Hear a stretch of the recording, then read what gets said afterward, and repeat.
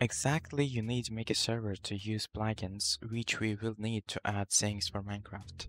You need to choose some core for make a server. I recommend you use Paper. You can find link in the description. Click download and Paper.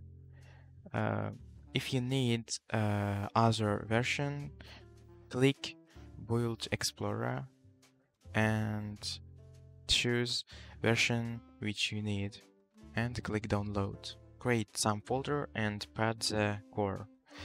After uh, create new text document and start dot bat.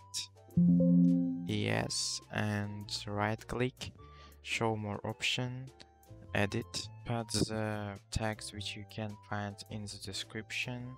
It is memory which you give your server its name your core which you patted in the your folder. Start uh, that bad and wait.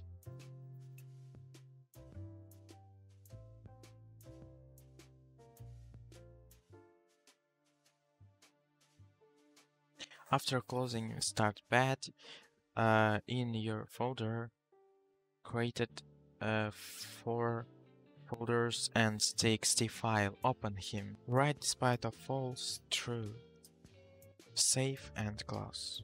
Now you can start startpad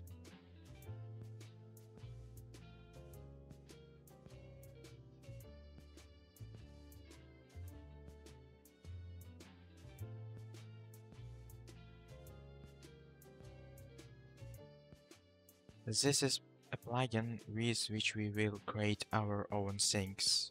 Come in plugins and pad ItemsAdder and ProtocolLib which you can find in the description. And start your server.